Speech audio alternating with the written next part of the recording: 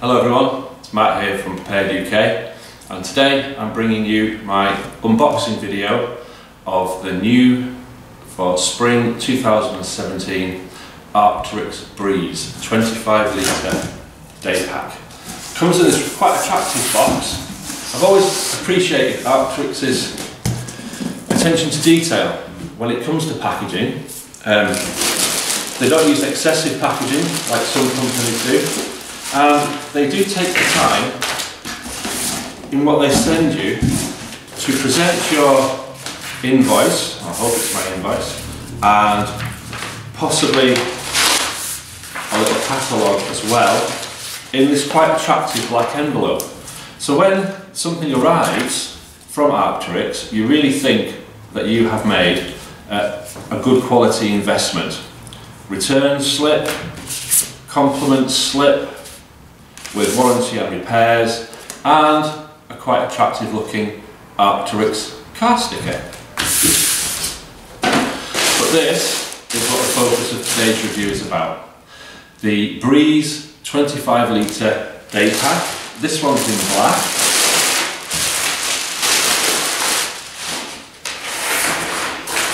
And my initial impressions are, it looks in the bottom half to be a lot like the old North Face Fulcrum.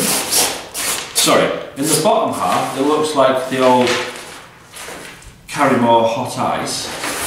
But in the top half, much more, as I said, like the North Face Fulcrum. The difference being that the Fulcrum came in at 35 litres and this is 10 litres lighter at 25. What it does have in common is the reverse opening, which gives the front of the rucksack this really clean look.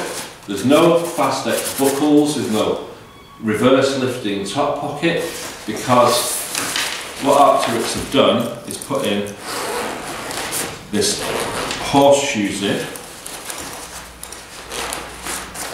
to allow entrance to the single main compartment.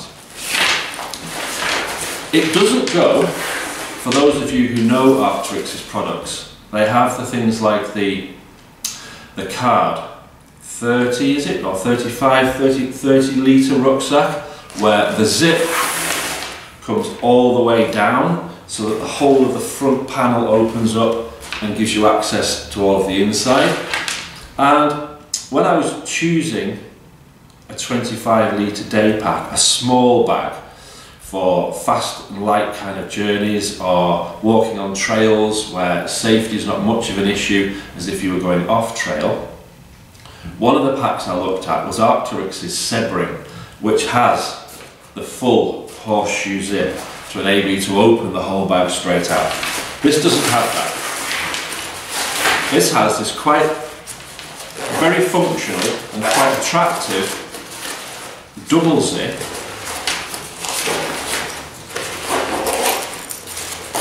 with a storm flap. Just like I say, it gives you this very clean looking front. Let's just go over the rucksack from top to bottom. The bottom has the harder material to protect it from wear and it is uh, 60 denier R on the outside which means it's going to be not waterproof, but it's going to be very water resistant, very water repellent, and with it having such a smooth shape, it's going to be very wind uh, shedding as well. It's also going to be very hard wearing and quite easy to clean. On the bottom of the rucksack, you've got this little attachment loop here, which for me, for a night walk, I would probably attach a little red LED light there so that people behind me were aware of my location. It has a mountain tool loop here and they've called it a mountain tool loop rather than calling it an ice, an axe loop. I'm not sure what applications a 25 litre pack would have um, for use with where you would carry a single ice axe. Uh, a pack of 25 litres, I don't think Dave, my walking buddy, uh, could even fit his duvet jacket in here, but nevertheless, ice axe loop with the head at the bottom comes up, has these uh, elasticated attachment points here with the loop at the top uh, to hold it in place and stop it from swaying about, which is very good. The familiar Arc'teryx's double line of uh, attachment loops here that don't have the very familiar Arc'teryx zigzag shock cord so you can stow things on the outside but the facility is there for you to um, either do that yourself or to add things to the outside. You could uh, get a helmet net uh, in fact clip a helmet to the outside the the options are there for you I really like these uh, the elasticated attachment points for either your walking poles or uh, for either your walking poles uh, or your ice axe um, have these really neat push button cord cinches. No pulling, no battling with them, they're going to last a long time without wearing.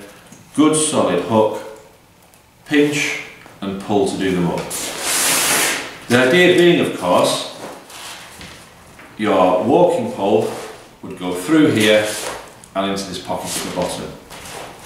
The pockets at the bottom are really smart as well. A lot of uh, rucksack manufacturers now are trying to find ways of keeping the water bottle or the bottom pouch discreet and as tight and out of the way as possible um, when it's not in use so it doesn't look like it's got these two big pouches sticking out at the bottom. But if you were to regularly keep in some packs a Nalgene bottle in there, the pouch would take the shape of the Nalgene bottle and then not relax when it comes out. What Arc'teryx have done here is they've put this really strong elasticated gusseted mesh section here which has the action of pulling the pouch tight against the pack. It has on the outside a top pocket, quite a cavernous top pocket actually.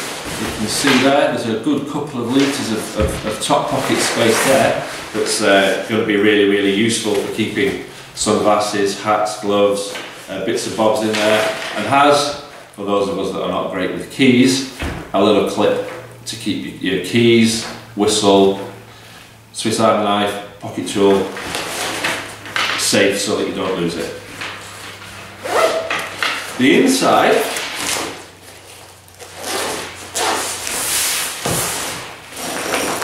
the inside has a zip pocket for your valuables, head torch, uh, compass, etc. there. And also has, which might be quite difficult for me to show you, I'll just try. Okay, it has an internal pocket for a hydration pouch or a laptop. It has the little clip so that you can keep your hydration pouch hung so that it doesn't fall down into the bottom. And it has, under the Velcro, here, a hard plastic back support which is fastened with two velcro loops to hold it in place which means it is, just check, it is removable. So if you wanted to take it on holiday uh, you could remove the back panel, scrunch it up really small so that you could stow it away uh, in a suitcase or a slightly larger bag so that you can use it for your day pack when you were travelling. The main compartment itself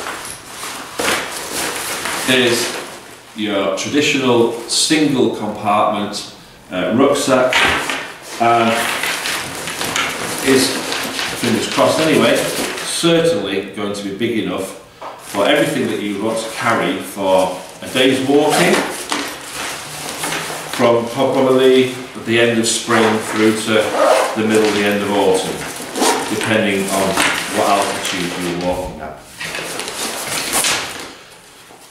It has, of course, Fastex side compression straps so that you can keep it as small as you need to when you've got it loaded.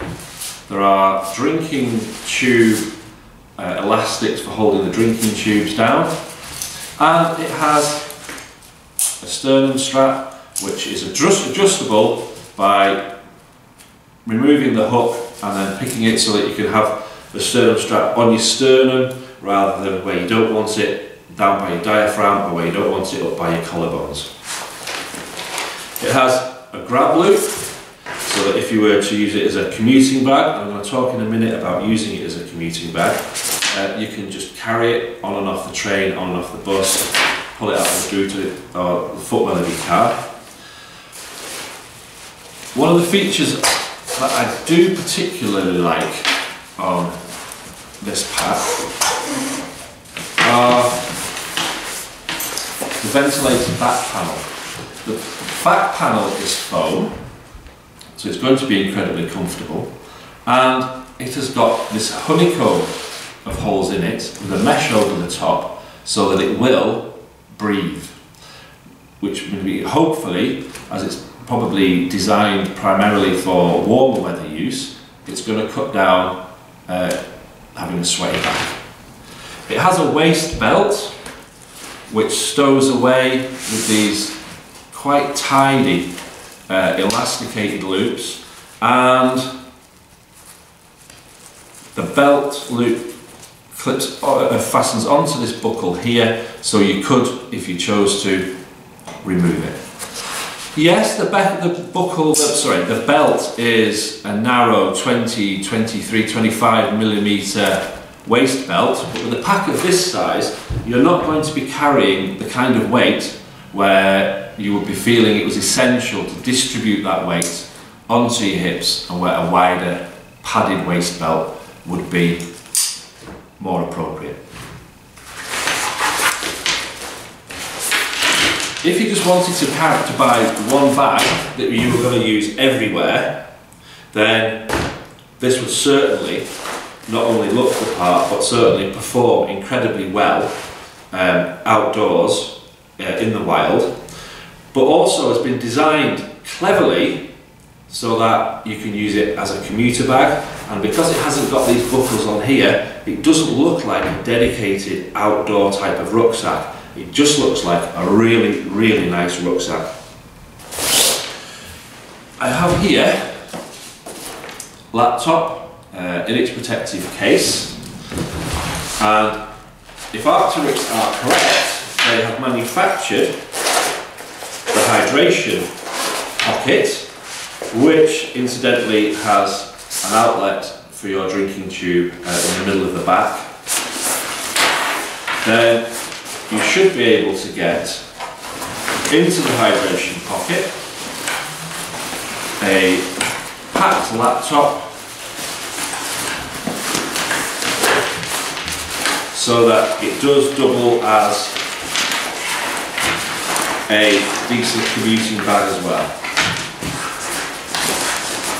The problem I've got is the neoprene on the, the laptop case uh, and the zip, there you go, has caught, there we go, and it, yeah, there you are. And it goes. No problem, carry your rucksack to work, sorry, carry your laptop to work. In your rucksack, carry it home again afterwards, no problem. The laptop, the pouch, now I've got it in, doesn't go all the way to the bottom, which I think probably is a good thing because it gives you the opportunity to keep a rain jacket or something in the bottom so if you put your rucksack down, it's got a little bit of protection from this edge of your laptop.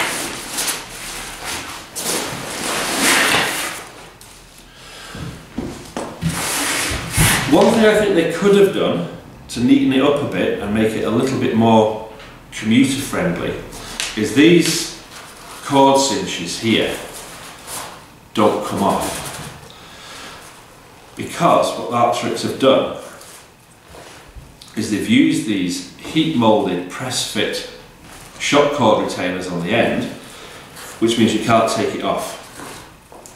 And I think if it had been me I would have possibly designed it so they were removable. And then you wouldn't have had these. Which would have meant in town you would have had a really sleek almost zero profile.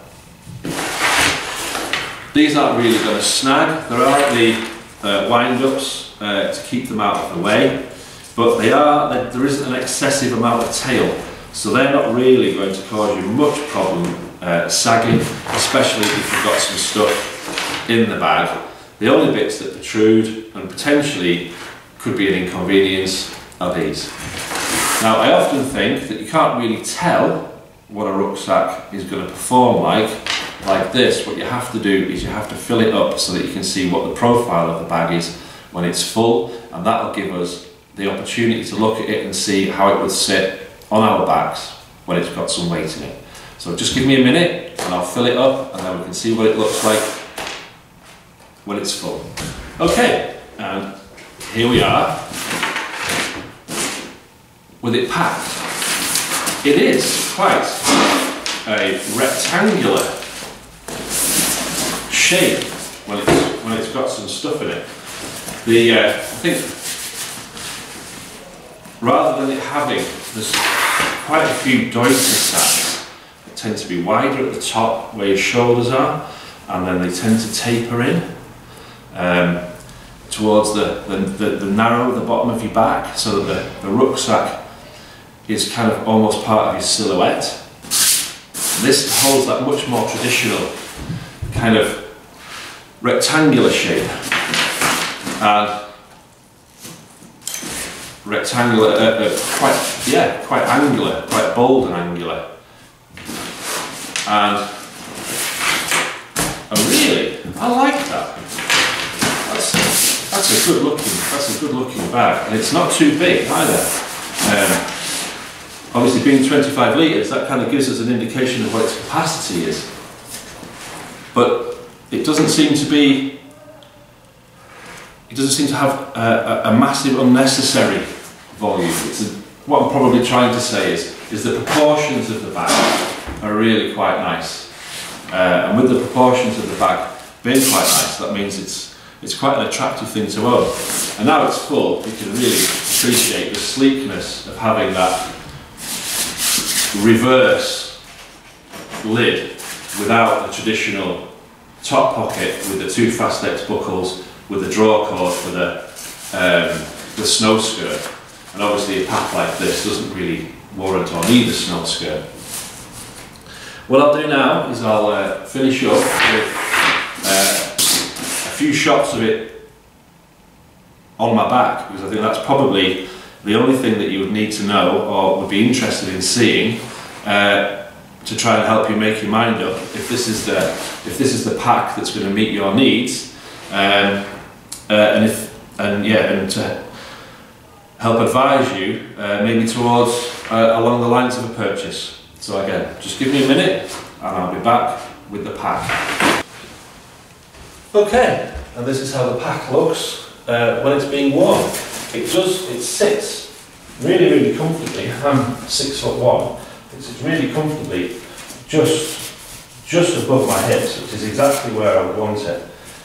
It's not too wide or too broad uh, across the shoulders. The fit of the straps feels really natural. And it really does contour really, really nicely uh, on my back. Um, that would be the, the rear profile. Uh, the right profile is going to be the, the same as the left, but it's not a really big chunky bag. It does fit in really nicely, but being 25 litres means that you can get enough in it to do you for a day's walking. Which is what I'll do. I'll now pack it up realistically and do a part two video um, with everything in it that I would consider taking with me on a day's walking, probably on a track or trail, late spring through to autumn. Um, for commuting, obviously it would depend on what job you were doing as to how you would pack it. So there we have it. This has been Matt for Prepared UK with the Arc'teryx Brize 25 litre backpack new for 2017. Thank you for watching. Bye bye.